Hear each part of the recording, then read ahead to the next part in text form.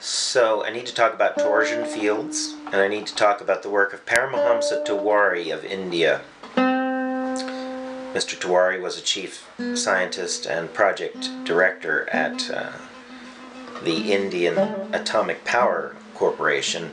However, he was also an independent and still is an independent researcher into free energy. And uh, one of the things he said in his books was that he defines energy as a state of vacuum in rotation.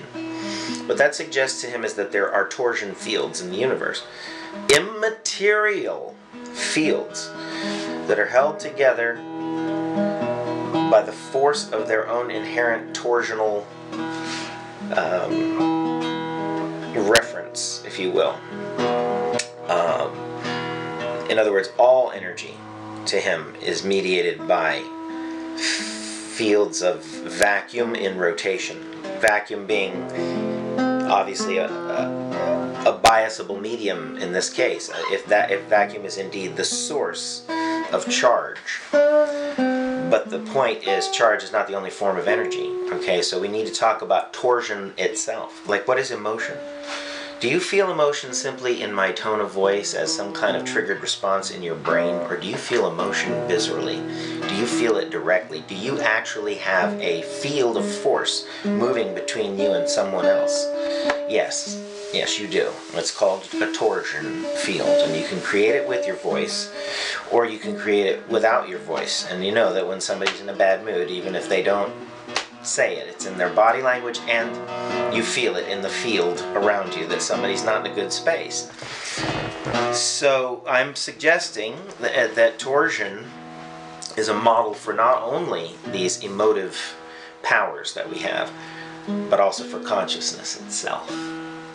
Because at the quantum level, rotation could exist in, in an infinite number of vectors as evidenced by the fact that you cannot reach the end of pi.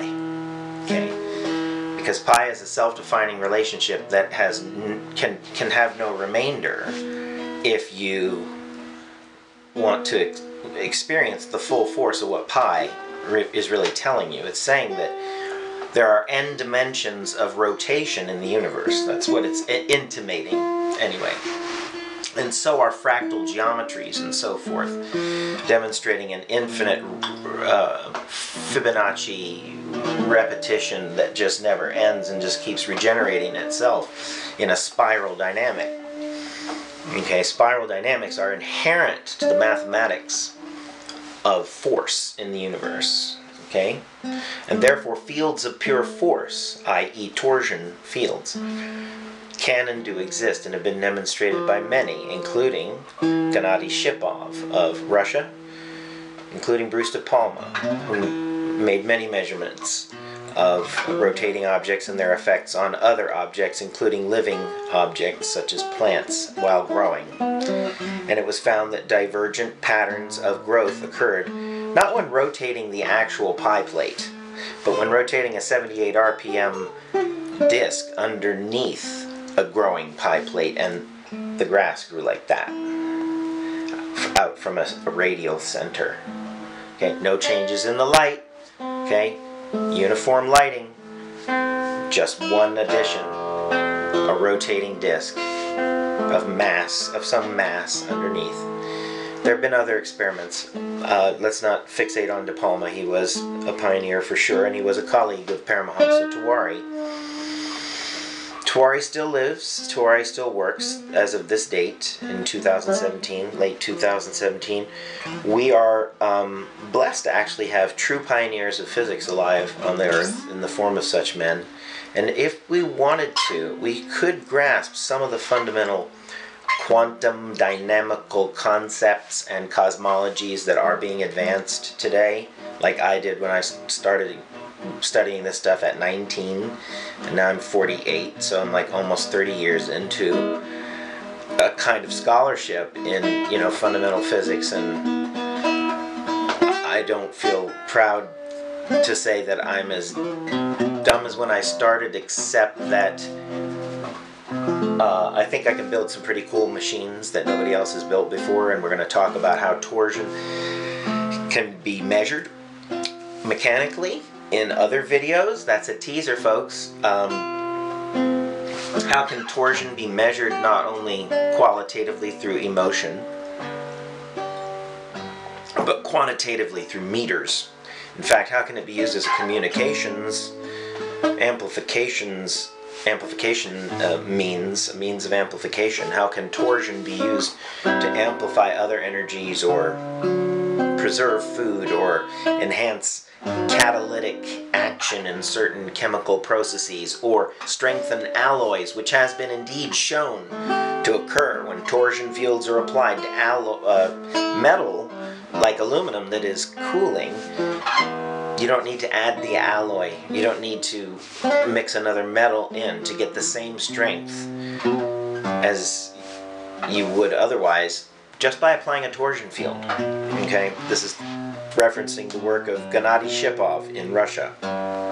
S H I P O V. Anyway, this stuff's not buried. It's just not common knowledge that there have been people working, including Eric Laithwaite of BBC fame, on tremendous forward thinking concepts relative to propulsion, space propulsion. Torsion is the means of space propulsion that I'm interested in, and I'm not going to focus on anything else. No propulsive means of transport like rockets has any, like, it has zero interest to me. I mean, maybe for some maneuvering jets or something like that, some high efficiency rockets would be nice, but we don't need it if if we have advanced inertial propulsion systems or even gravitational nullification systems. So, this is for another talk. Um, we are generators of torsion fields ourselves, though. That's the important thing. Your consciousness is based on torsion because every sense of rotation being different in the n dimensional rotating field of time produces the infinite variations of awareness and phenomena, color, light, sound. All of that is being created at the quantum level by torsion, in my opinion, or a form thereof. People don't talk about this, but this is the way to control gravity. This is the way to heal bones fast. This is a way to um, build bridges that uh, don't need suspension arms and stuff. Okay? We're going to have to talk about that another time. But you're standing on the cusp of a new science age, and you are a part of it because you've listened to this entire video. Please subscribe to this channel and learn more directly from me. You can write me at andrew.mount at sbcglobal.net. Andrew.mount at sbcglobal.net. Peace be with you.